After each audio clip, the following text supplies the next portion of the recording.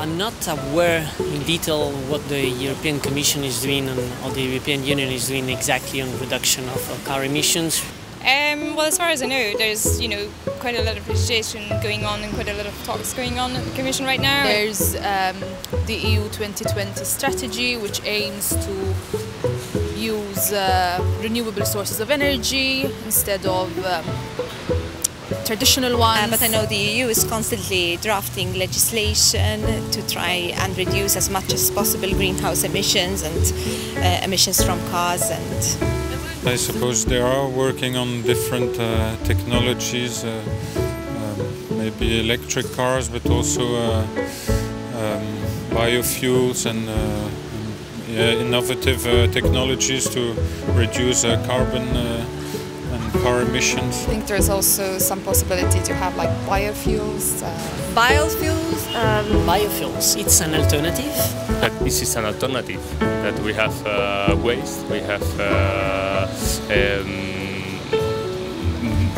bio solutions that can produce uh, energy.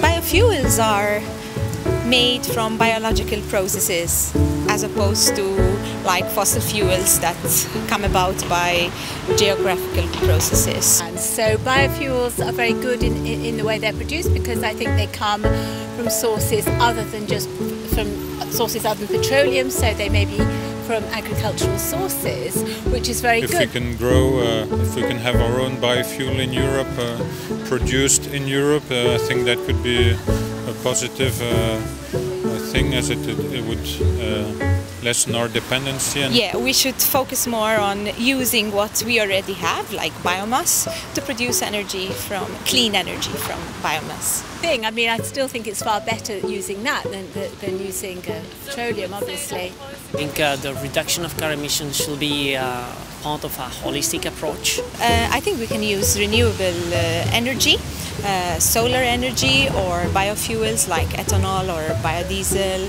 Um, these would all help reduce emissions in the long term. Encouraging the, the research to try to find uh, the, uh, the, fuel which is less um, hurting for the environment.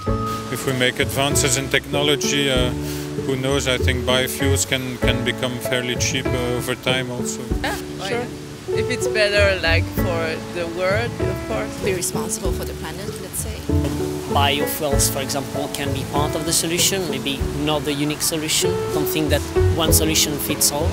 It needs to be seen as part of a global system. I hope that there is some legislation in the in the pipeline that will reduce the car emissions, but I'm not sure. I think in principle biofuels are a good idea. There is some controversy, but in general I think yes, policymakers certainly should support it. I think policymakers should support biofuels policymakers should definitely support the use of biofuels. Yeah, definitely, because they are the ones that are more responsible for it, and I mean, in a sense that they have uh, they have power, and then that's why the politicians are made for, I guess. So I don't think it's as easy as we, we want to make it sound, but I think it has to be a strategic effort. You know, I think if, if they put enough effort, like long term, it's not something that's going to change overnight, but yeah, I'm, I'm all in favor of that, you know. I think yes, it should be defended as part of the equation to solve the problem of emissions and climate change.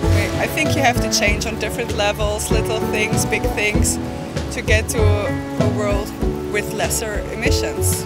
As a, as a citizen, all I want really is to breathe, breathe air which is clean, and, uh, not to get all the pollution around me, I guess.